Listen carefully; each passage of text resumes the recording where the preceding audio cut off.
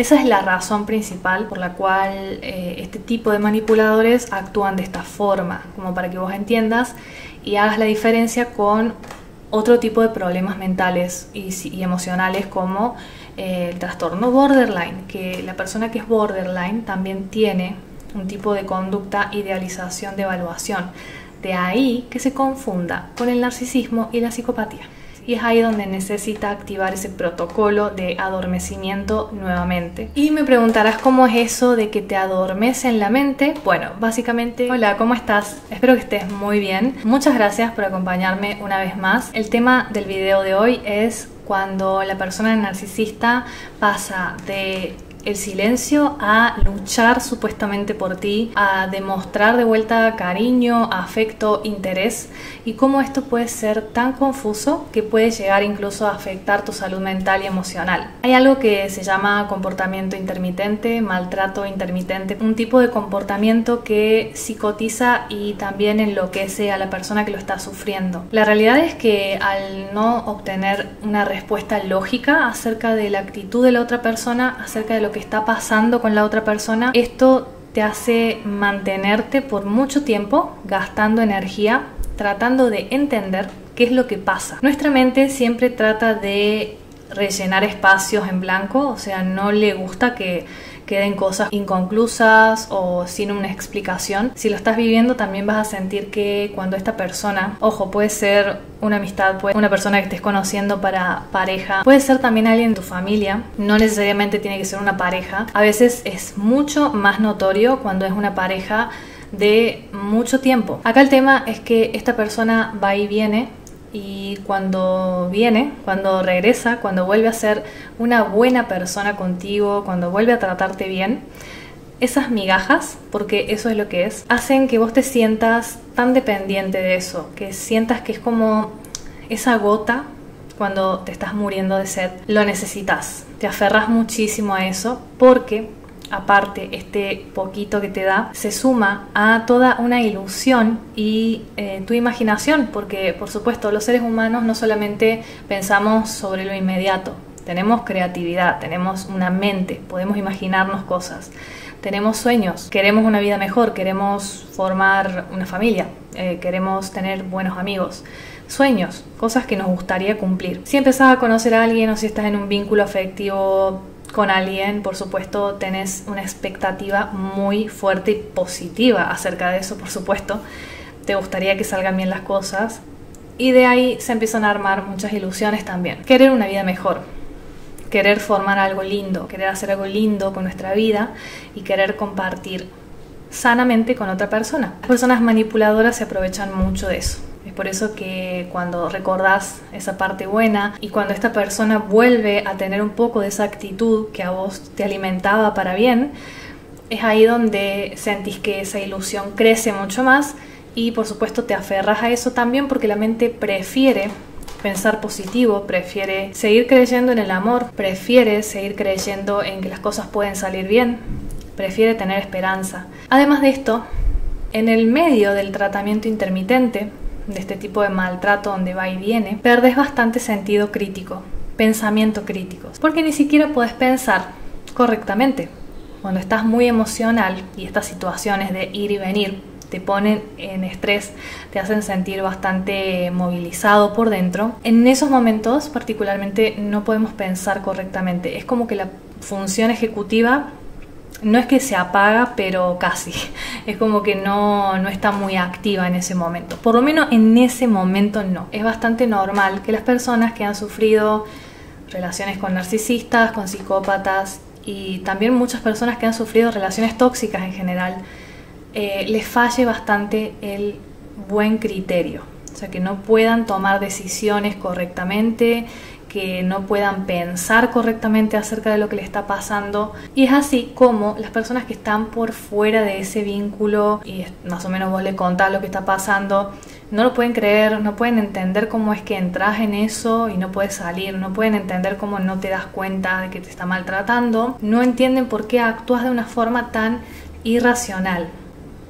Justamente por lo que decíamos antes, ¿no? Claro, porque ellos no están inundados, no están abrumados por toda esta situación estresante. En cada desencuentro y volverse a encontrar, en cada regreso, es como que tu expectativa crece más y más. Tu expectativa de que regrese la persona buena, la persona amorosa, esa parte linda de la relación, crece más y más con cada ida y vuelta. Por eso es tan peligroso este ciclo. Es así como en este descontrol emocional vas a actuar de maneras inadecuadas y que luego te vas a sentir bastante avergonzada, como por ejemplo llamar desesperadamente a esa persona, preguntar por esa persona a otros, bloquear y desbloquear. Eh, también se vuelve muy confusional todo, porque por un lado estás muy enojado, te hace mal lo que te hace el otro y querés como vengarte o querés ponerlo en su lugar pero lo necesitas también, la necesitas, querés que esté ahí cerca tuyo, entonces todo se vuelve muy confuso, pero la única realidad acá es que estás con un descontrol emocional y, un caos mental tal que por supuesto tu conducta se vuelve un poco extraña, se vuelve, a, sobre todo a los ojos de los demás, entonces empezás a gritar, llorar, pedirle que por favor te dé una explicación, porque todos necesitamos una explicación de las cosas. Es bastante peligroso cuando entras en esta rueda que parece que no tiene fin y por eso es tan importante que puedas entender finalmente por qué una persona manipuladora pasaría de un desinterés, del silencio y el desprecio incluso a luchar por ti. Entonces, ¿por qué hace esto de ir y volver? En la persona narcisista en particular necesitan comportarse de esta forma confusa porque, por un lado, necesitan de vos, de tu combustible o de tus recursos, entonces tienen que estar cerca tuyo. Y eh, ellos saben que vos no aceptarías un intercambio egoísta. O sea, si ellos te dijeran literalmente que solamente quieren estar contigo porque están interesados en algo en particular que vos tenés, te quieren usar y después cuando no les sirvas te van a tirar a la basura, mm, seguramente no aceptarías estar con ellos. Entonces lo que hacen es fingir que tienen todos esos sentimientos por ti que no tienen en realidad, entrar en vínculos que no les importa, porque para vos es un valor, la amistad, la pareja, la familia, son valores, para ellos no son nada, o sea, no significa nada, son solo disfraces. Y por otro lado, son personas que tienen ciertos vacíos emocionales y morales y de lo que hay, lo poco que hay, hay demasiado.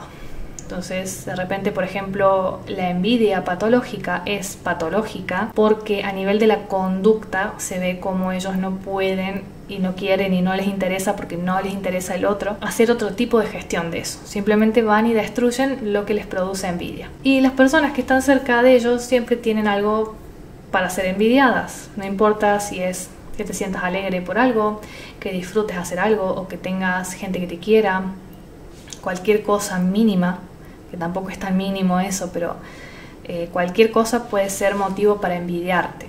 Esa es la razón principal por la cual eh, este tipo de manipuladores actúan de esta forma, como para que vos entiendas y hagas la diferencia con otro tipo de problemas mentales y emocionales como el trastorno borderline, que la persona que es borderline también tiene un tipo de conducta idealización de evaluación.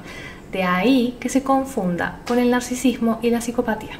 Si le pusiste un límite, si le frenaste el carro, si decidiste eh, alejarte de esa persona, por ejemplo, ellos se dan cuenta que tienen que poner una estrategia de bombardeo de amor, de idealización para poder recuperarte otra vez que es como una falsa toma de conciencia porque no se lo creen ni ellos, empiezan a jugar con esa esperanza que todos tenemos de que el mundo puede ser un lugar mejor, de que las personas pueden cambiar. Entonces esta gente juega mucho con eso y les gusta hacerte creer que empezaron un proceso de cambio y que ahora, bueno, necesitan de tu ayuda. Imagínate si tenés una especie de complejo de salvador, que hay muchos empáticos que lo tienen, esto va a tocar justo en esa herida y vas a enganchar rapidísimo. Y por supuesto que vas a querer ayudar a esta persona. Otro motivo por el cual puede pasar del silencio o del el desprecio a estar muy interesado por ti es que esta persona necesita que vos vuelvas a adormecerte. Cuando pones un límite, haces algo por ti, cuando luchas por ti, cuando te defendes estás siendo mucho más consciente de la realidad. Y estas personas luchan muy fuerte por sacarte de la realidad, así que por supuesto que en este juego de bombardeo de amor que vuelven a activar para que vos caigas de vuelta, lo que están buscando es que te hipnoticen, básicamente, o sea, que te vuelvan a hacer bajar la guardia. Al principio hicieron que vos bajes la guardia cuando lograron conquistarte y entraste en el juego de ellos. Por supuesto que por más hipnotizados y, e ilusionados que estemos, siempre hay cierto discernimiento, entonces te vas dando cuenta de que hay algo malo, que está haciendo algo malo, que te está haciendo daño a ti, y puede que empieces a poner límites, o le digas que no, simplemente te distancias de esa persona, y es ahí donde necesita activar ese protocolo de adormecimiento nuevamente. Y me preguntarás cómo es eso de que te adormecen la mente. Bueno, básicamente los estímulos gratificantes, las cosas que son agradables, que son apetitivas, gusta recibir eso y a la vez es algo que te relaja, o sea, que es todo lo contrario a un estímulo amenazante, que te activa a nivel de la alarma, a nivel del peligro. Esto sería todo lo contrario. Puedas llegar a un estado de bajar la guardia incluso, porque claro, antes estabas como mucho más pendientes, como esta persona no es buena para mí, entonces estabas alerta lo que busca es que nuevamente estés como en un estado de amor y paz. Esta persona al desaparecer, al, hacer silencio o al ya no estar disponible como la persona buena, la persona buena o la que te da la parte buena, vos empezás a percibir que hay una escasez de algo. Esto, en este caso, bueno, su presencia, su buen trato, su cordialidad, sus regalos, lo que sea. Y esto es una distorsión cognitiva. O sea, inmediatamente empezamos a percibir su ausencia como una escasez. Ese sentido de escasez hace que sientas la necesidad de buscar más de eso, ¿no? Entonces, hace que tu interés aumente, tu interés por esa persona aumente. Hay mucha gente que incluso sabiendo de esto, es como que lo usa como una técnica de seducción y promueven este tipo de comportamientos como si fuera algo que es válido. Es una forma muy tóxica y muy dañina de mantener el interés, porque sí es cierto que lo mantenés, es cierto que podés enganchar a alguien de esta forma, pero ¿a qué costo, no? Además, muchas veces les ha pasado a las personas que han sufrido, sobre todo de narcisistas y de psicópatas, que perciben al otro como muy engrandecido, porque ellos mismos se ponen en un pedestal y cuentan historias que son como muy interesantes, muy que adornadas con cosas así que quizás te, te llama la atención y decís, wow, tiene una vida muy llamativa, tiene anécdotas, siempre tiene algo para contar. Eso a la vez te hace sentir como que vos tenés una vida un poco aburrida o a vos te falta algo y aunque no te des cuenta, a veces estás como en un estado de que te sentís menos que esa persona y hasta incluso te gustaría alcanzar su nivel. Muy importante es recordar que las personas narcisistas buscan hacerse ver como gente interesante, pero de repente son todas mentiras. Si la persona narcisista pasó del desprecio o el silencio como castigo a tener demasiado interés por ti, es muy probable que cuando vos le pusiste ese límite y te distanciaste, para esa persona se genera como una percepción de que estás más interesante y sos un reto también a seguir. O sea, el efecto no es solamente para ti, sino también para esa persona. Pero además, en el caso de las personas manipuladoras, esto implica que estés desobedeciendo sus reglas. Les da mucha bronca que vos no cumplas con el rol que te asignaron. Eso hace que les enoje bastante y por eso es que se obsesionan. El tema es que se obsesionan con la dominación y con controlar a todas las personas que le rodean, o por lo menos a los que ellos consideran que son útiles. Al final ese es el resultado final. Uno puede llegar a interpretar esto como amor. Eh, Recuerden que el amor está muy romantizado, las relaciones están muy romantizadas, empiezan a enloquecer porque no les gusta que las cosas se salgan de lo que tienen que ser. No les gusta que se descontrole todo. Los seres humanos empáticos deseamos de corazón llevarnos bien con todo el mundo, sobre todo con quienes son nuestros seres queridos, así que es bastante normal que tratemos de evitar los conflictos, que busquemos que todos sean felices, que querramos pensar bien de todo el mundo. Tenemos esa tendencia, entonces, cuando una persona nos da una mínima señal de que cambió, de que ahora las cosas están bien, o que te quieren dar amor supuestamente, nosotros nos aferramos a eso porque tenemos esa esperanza. Sí, entonces es bastante peligroso a la vez cuando es algo ingenuo, cuando realmente no estamos siendo conscientes de las demás señales y solamente tomamos esto y queremos generalizar, no sé, un solo comportamiento de esa persona que volvió después de 10 meses y ahora parece que cambió y no estás viendo el tiempo que la gente con, cambia con mucho tiempo, con mucho esfuerzo y trabajo, no de un día para el otro, no de un año para el otro.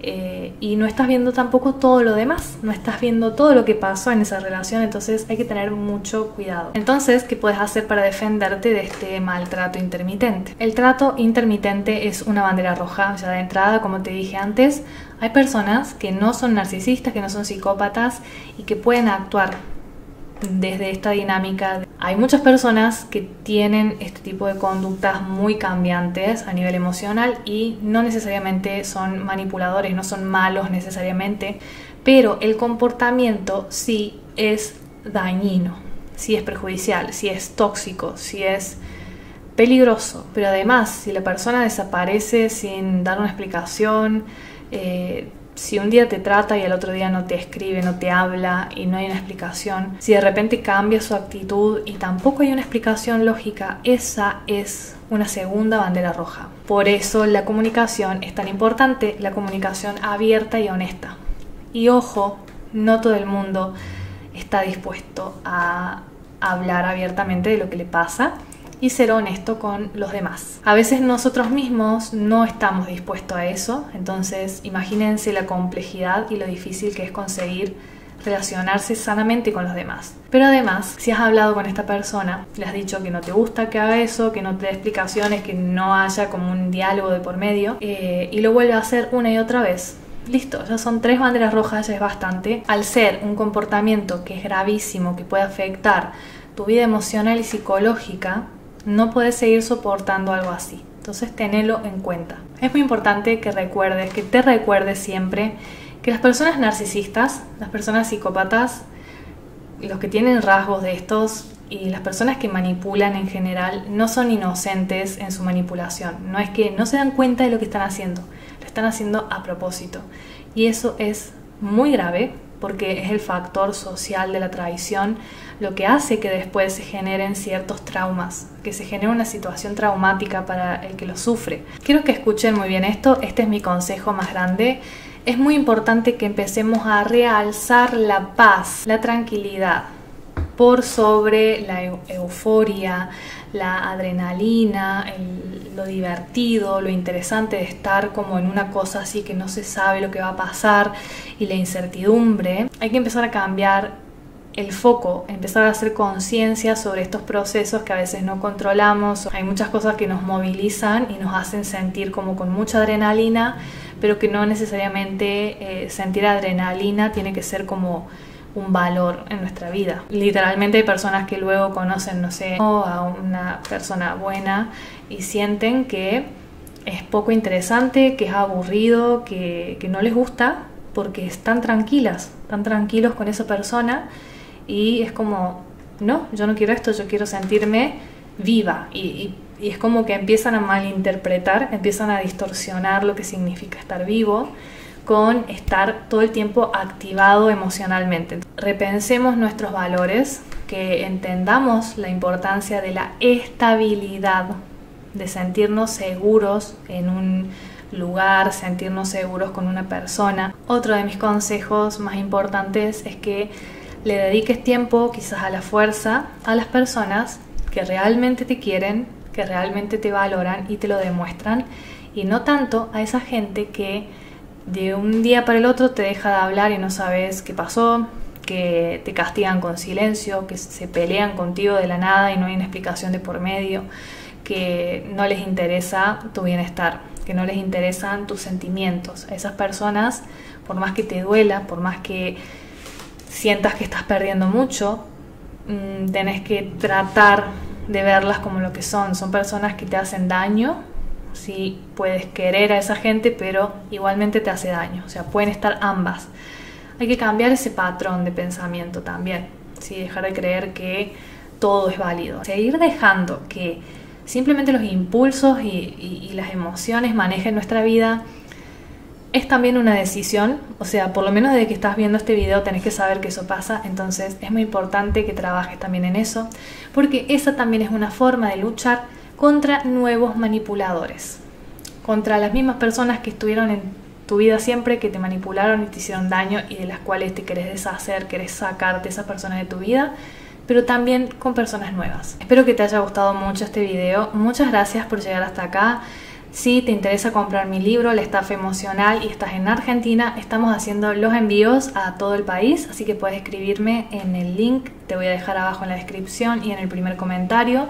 Lo mismo si estás en cualquier parte del mundo, pero sobre todo si estás en México, en España, eh, puedes conseguir el libro en la moneda local y si no, para el resto del mundo está en Amazon de Estados Unidos. Si no te suscribiste, hacelo abajo en el botón rojo que dice suscribirse, activa la campanita porque tenemos videos todas las semanas hablando de estos temas, hablando sobre manipulación en general y cómo generar un cambio real en nuestra vida. Que bueno, muchas gracias por todo su apoyo y nos vemos la próxima.